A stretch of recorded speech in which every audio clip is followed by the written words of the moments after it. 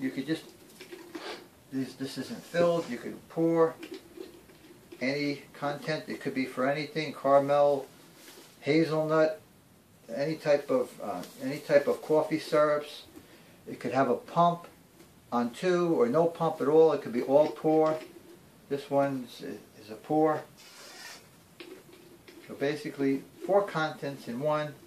Say you like all flavored coffee flavors, you could you could get them all in one container, and it's about two cups in each. And then again, like, you could actually put a pump on each one, or whatever you'd like. So there you go. And when you're done, you could actually rinse the uh, pressure-sensitive containers out and, and refill them with anything else you'd like to fill them with. Like I say, you can use this over and over again for different uh, purposes. And if there's French vanilla in here, you could actually unscrew it or unsnap it and the remaining French vanilla, you could just take it and get every last drop out by just squeezing along the pressure sensitive container. So this is just another variation of what you could do. And then you could just place this back in your uh, refrigerator or wherever you want. Some, some do not require a refrigeration depending what it is. This could be oil, vinegar, different type of oil, different type of vinegar, basically anything.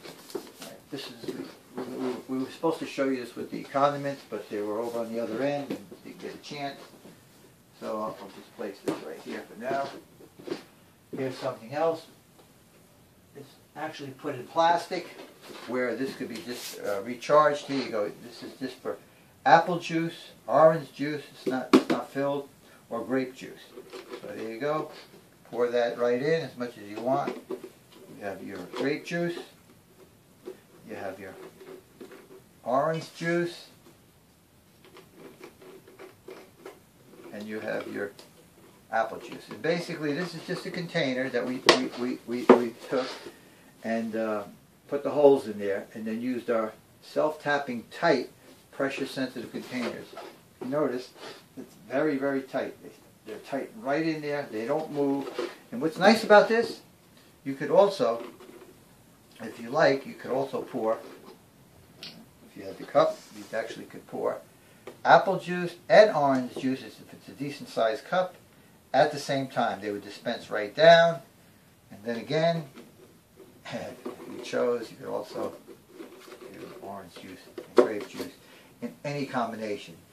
And like I say, if we wanted to, we could actually, this was a larger container, and it did have this handle on it, we could actually put four or more across. It's just that would be, in this case, if it was a larger container, it would have the same amount of content in our pressure sensitive container.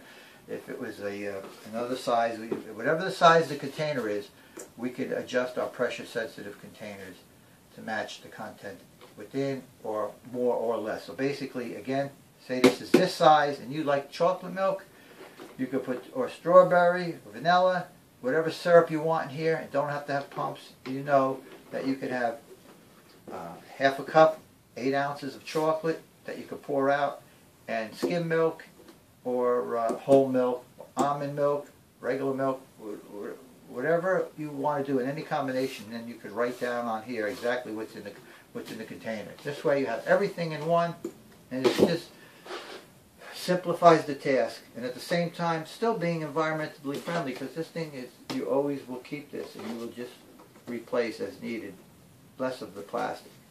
And again this could be made we have ones that we did made, made a little notch and you and you could it is made completely of cardboard it's exactly the same. So either or these little pieces of plastic just put aside for now. All right so there you go. And oh I see one other one other container.